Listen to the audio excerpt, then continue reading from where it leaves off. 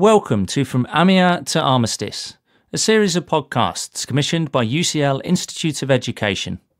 I'm Simon Bendry, Director of the UCL Institute of Education's First World War Centenary Battlefield Tours programme. In August 2018, students from across the United Kingdom joined students from France, the United States, Canada, and Australia on the Western Front to commemorate the Battle of Amiens. This series, recorded largely on location during that battlefield tour, tells the story of the Battle of Amiens in the wider context of the First World War and the road to armistice.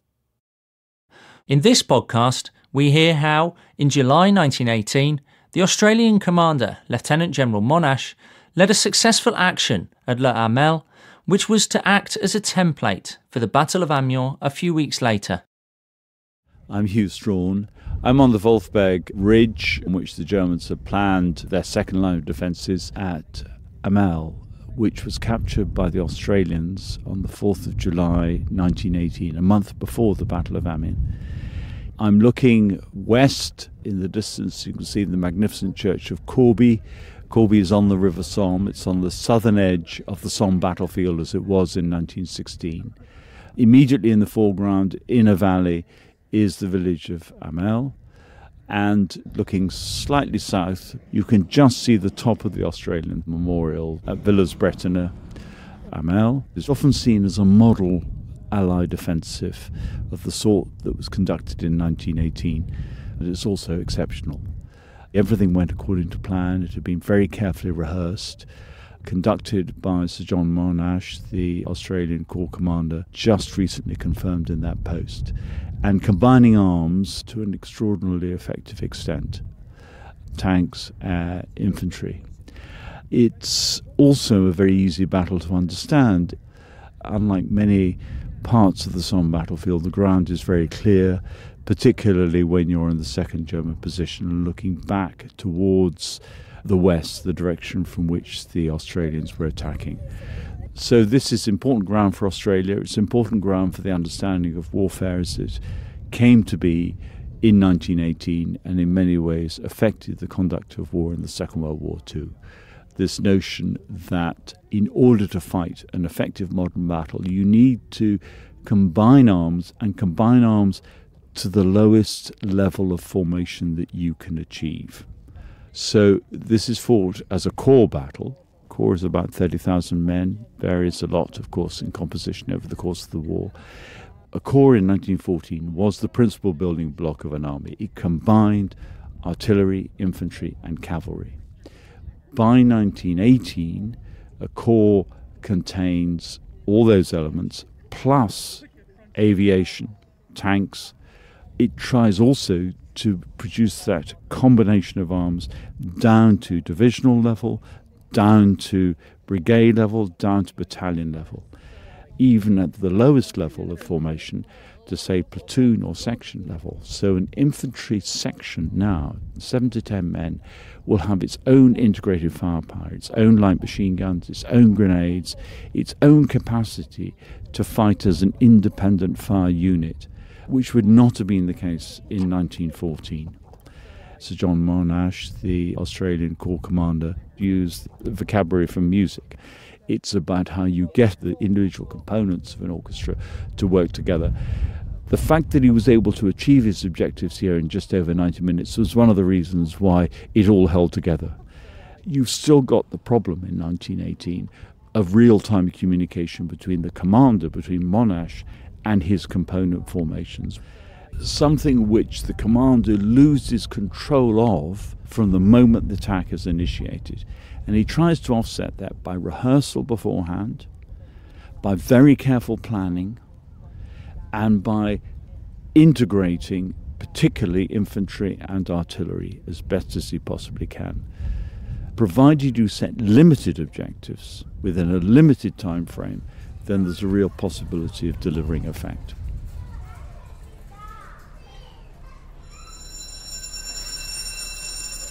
Good afternoon, is the captain speaking. Do apologise uh, for that. Uh, that was a false alarm. That was a false alarm.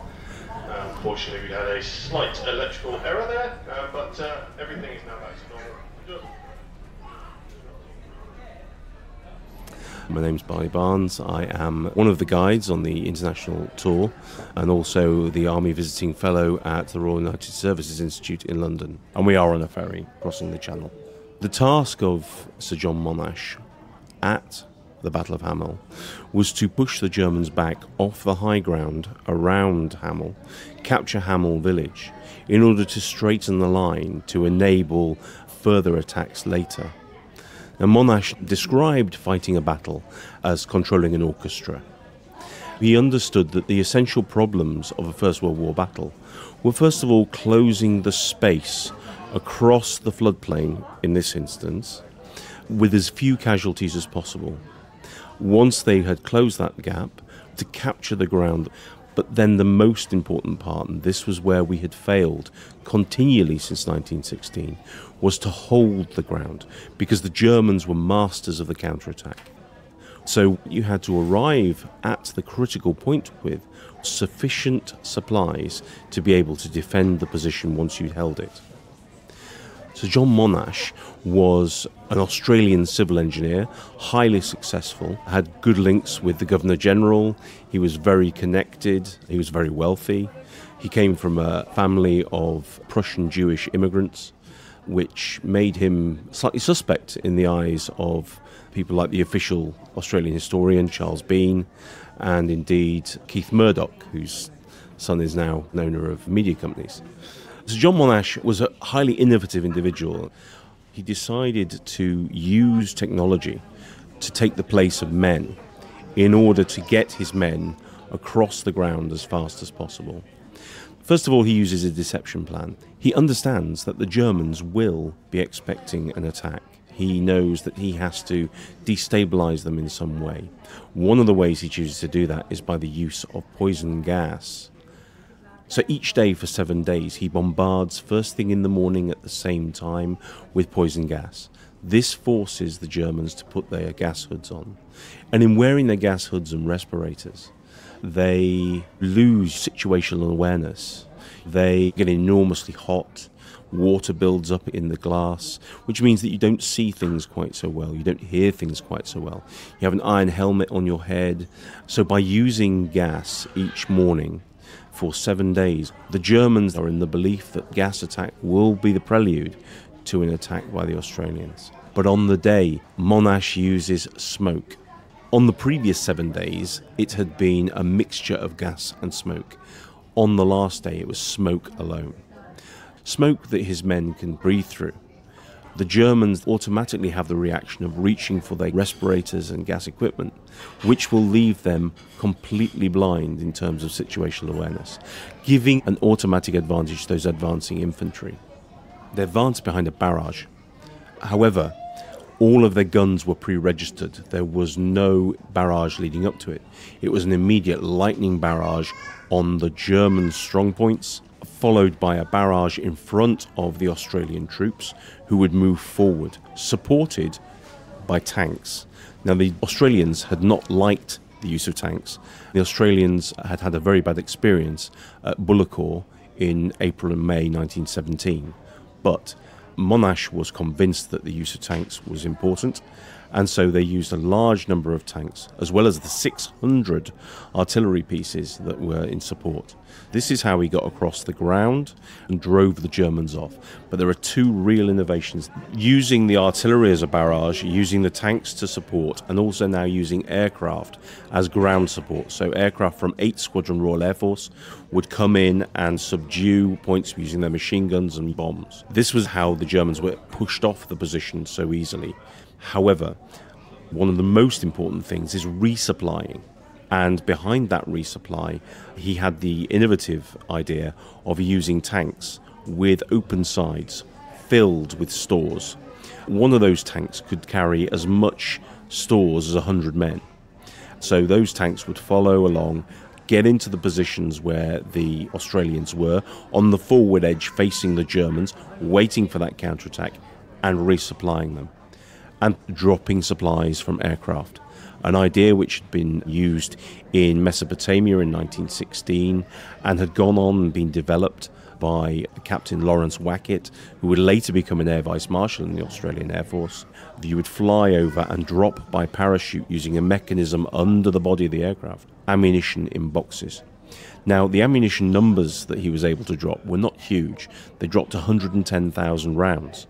But 110,000 rounds of ammunition dropped right into the gun pits of the Australian machine gunners at the right moment could hold up.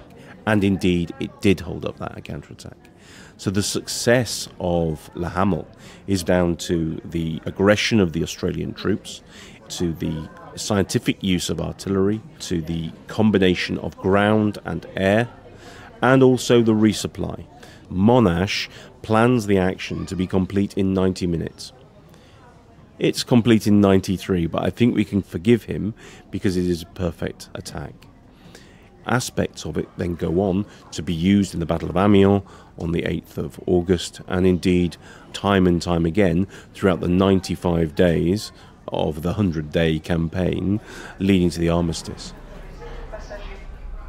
Ces consignes comportent les précisions suivantes les points de rassemblement que les passagers doivent rejoindre en cas d'urgence, l'utilisation des gilets de sauvetage et la description du signal d'alarme sonore.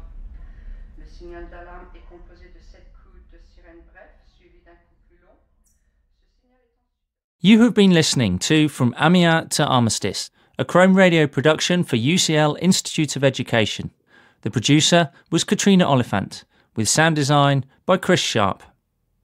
In our next podcast, we join Professor Sir Hew Strachan for the last of his morning briefings, when he looks at how the Battle of Amiens triggered a series of Allied offensives that brought the war with Germany to an end just a few months later.